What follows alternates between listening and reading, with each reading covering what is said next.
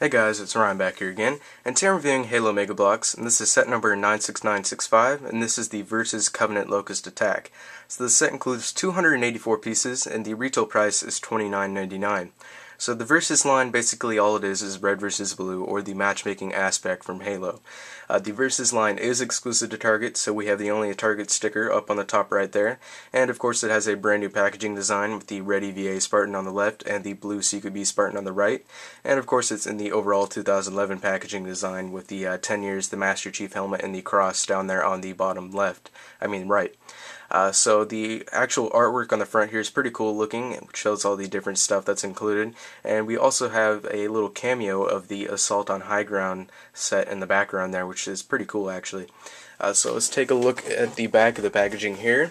We do have an actual product photo that shows all the different features and items that are included with this set. We have the individual characters on the bottom left, including the Combat Elite, the CQB Spartan, and the EVA Spartan. Also on the bottom we have all the other versus sets, including the red and blue team weapons packs, the red and blue team combat units, and the assault on high ground space. And it says red team takes control of the new Covenant Locust with the red combat elite trying to capture territory occupied by blue team. An incoming blue EVA and CQB Spartan ride at top speed on the new UNSC Desert Mongoose determined to even the odds. So that is the packaging there. Let's take a look at all the items that are included with this set. So I'm going to get my camera adjusted here real quickly. Get that there. So here is the brand new Covenant Locust that's included with this set. Pretty cool little vehicle, but the thing is, you know, in any of the first-person Halo games, we actually never saw the Covenant Locust. Covenant Locust was actually only in the Halo Wars game, um, so it's kind of a little bit odd that they're actually including it with the Versus line, but, you know, oh well. It is a pretty cool little new vehicle, so got the uh, Desert Mongoose and the red team flag, as well as the two blue team minifigures. We got the EVA and the CQB, and we have the one red team minifigure, which is the Combat Elite. So, let me get my camera adjusted here a little bit more, since I can't seem to line anything up anymore. So there we go. Let's go over the minifigures here. Uh, so I'll go over the only red team figure, which is the Combat Elite. Uh, he's actually a little bit lighter than the uh, Combat Elite that was included with the Covenant Weapons Pack, which was just recently released as well. It's a slightly different color, but for the most part, it's almost exactly the same. Uh, he the weapon that he comes with is an energy sword, which you can see there. But uh, the only new armor pieces are the head, the torso, as well as the shoulder plates there, which is representing the Combat Elite from Halo 3. On the back of the figure there is a peg hole, and pretty much does it for this Elite here. I believe this is the fourth, fourth time that we've actually seen this figure, so uh, pretty much everyone's used to him already a little bit, but it is nice to get a whole bunch of different Elites in the line here and there. Uh, so articulation is a ball-jointed head, ball-jointed shoulders, hinged elbows, swivel wrist, swivel waist, ball-jointed hips, and hinged knees. So that is the Combat Elite. Let's take a look at the blue team minifigures. So I'll go over the EVA Spartan here. Uh, exactly the same as all the other EVA Spartans that we've seen so far, and I believe this is actually the fourth time that we've seen this figure as well. Uh, so the only new armor pieces are the uh, head, the torso, as well as the shoulder plates, and that is the EVA Spartan from Halo 3 and not Halo Reach. But the weapon that he comes with is a Brute Shot, which is molded in some gray plastic there.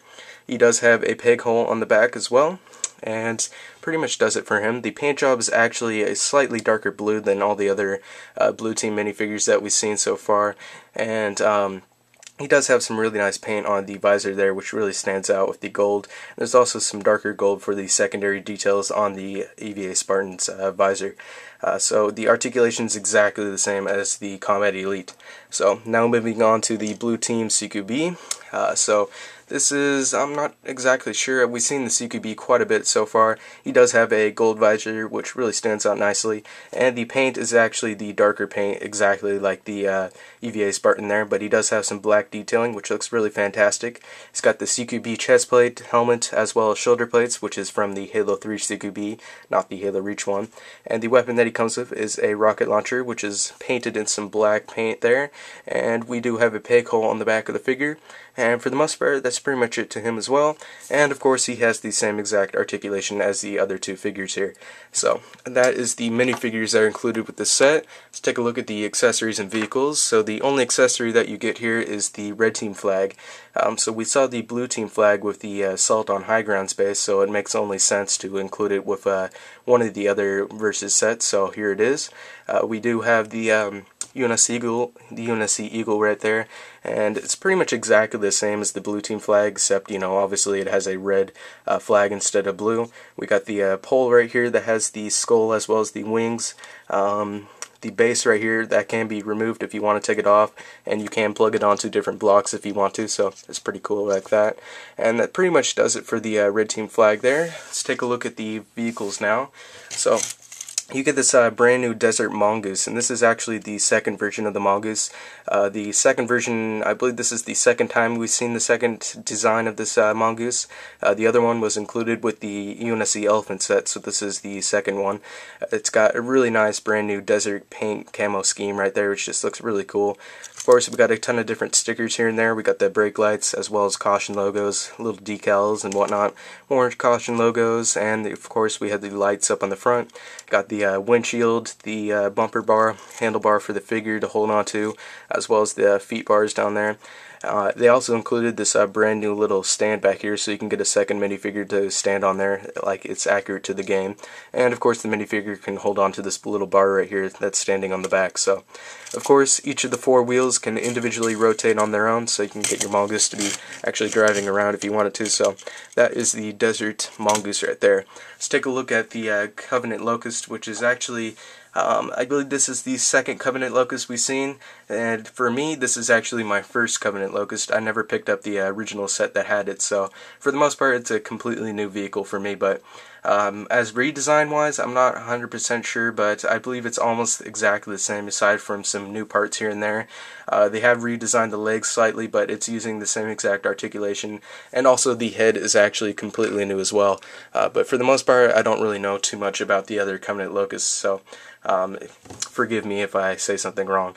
So Let's take a look at the articulation, and that goes for every single leg, so each of the legs have the same exact articulation. Uh, it can be swiveled at the joint where it connects to the body, and also the joint where it connects to the body can be uh, adjusted up and up and down depending on how you want it. Uh, but for the most part, you know, you can't really adjust it too much because of how the body's designed, but uh, you can move it up and down at different places. Also, where it connects to the uh, knee right here, that can be moved at two different locations, and it can also be moved up and down as well.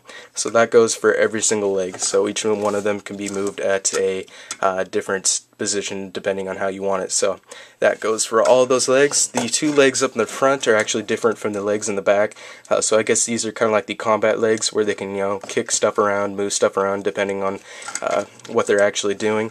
And then on the legs in the back here, they're actually designed a little bit differently. They have a lot more armor as you can see there, and they're more bulky looking. They're pretty cool actually in the back than they are in the front. So, uh, But while I have the Covenant Locust turned around, you can see the little cores in the back here. I believe those are supposed to be the engines or the power source for the Covenant Locust itself. And they have a lot of nice detailing on them actually, which is pretty cool looking. So you get those two on the back right there. And here's a good look at the side of the uh, brand new head right here, which looks really cool actually. Um, it can only be rotated about, not that much, you know, probably about 80-90 degrees. You can actually rotate it to about 180 degrees if you lift the uh, body itself up a little bit, but for the most part you can't really rotate it 360 degrees around if you wanted to, uh, because this part right here is actually blocking it. Um, so you take a look at the head of the Locust here, and the cool thing is they actually designed it so where it opens up right there, and there is a seat inside. You can seat one minifigure if you want to, and there is a peg right there, so you can just plug them right into there, and there you go. So it's a really cool design, and I really like how this opens up and it works pretty well. Got some nice detailing up in the front of the Locust right here. Got some uh, kind of those flat blocks, uh, which look really nice actually on the set. And that pretty much does it for this Covenant Locust. So you get the uh, Covenant Locust as well as the um, let's see, the Desert Mongoose, the Red Team flag, and then you get your three minifigures, the blue EVA Spartan, the blue CQB, as well as the um, while as my CV, CQB doesn't really want to stand up for some reason. get the blue CQB as well as the uh, Combat Elite right there. That's all the items that you get with these Covenant Locust Attack. Um, in my opinion, it's very worth the value. For $30, you get a lot of cool stuff, and, and it's definitely worth it in my opinion. So if you do see this in the stores, go ahead and pick it up right away because it's a really cool set. Um, so anyways, that's pretty much it for this review. Hope you guys enjoyed it, and I'll see you all in the next video.